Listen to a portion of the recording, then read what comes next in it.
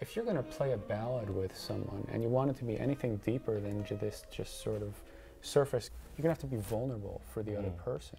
And that's what the audience wants Mm. Yeah. to see too. Jazz is all about vulnerability. So you got to put it out Vulnerability. there. I think so, yeah. Because we're improvising, you know, and we're not coming to the bandstand with a preconceived notion of what we're going to play. We have to be open and available and vulnerable to really make that connection with ourselves and with the other musicians.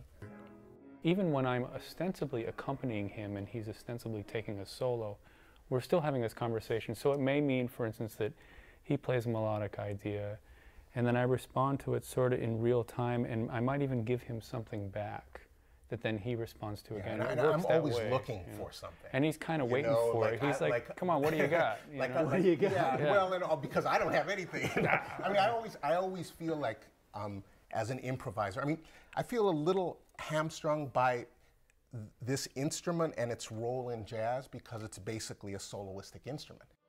You know, I play melodies, maybe some uh, accompanying harmonies if there's another horn player, and then I'll take a solo.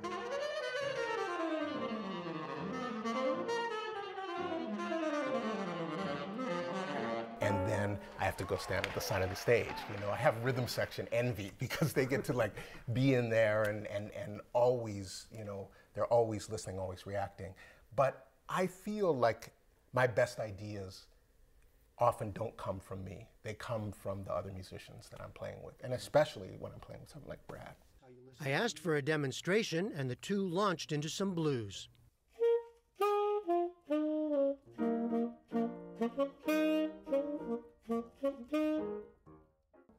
One thing that Josh does that's very exciting for me as an, uh, an accompanist is that I throw him a curve in the middle of his phrase. So he was starting to start a phrase that was a little more conventional. And he was going to kind of wrap it up. Okay, we gave you an illustration by returning to the melody. And then I, in the middle of that phrase, I sort of went.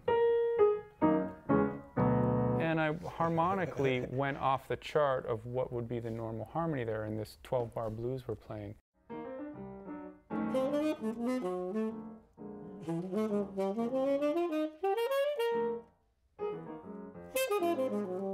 In real time, somehow he heard me doing that and adjusted his phrase in the middle of the phrase. Is that a, uh, an intellectual process that he just described where he switches and you have to react quickly, or, That's, a, or that's it an just excellent happens? question.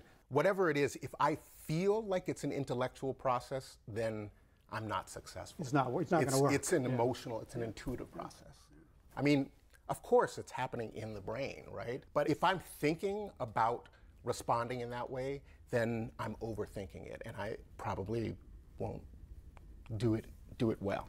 It's very exciting to really improvise and to have that moment. And it's also very social music. You know, you, a lot of times you're with other people, and to have that white heat kind of uh, communication between another musician, uh, it's, very, it's really exciting. It's a great time to be a jazz musician.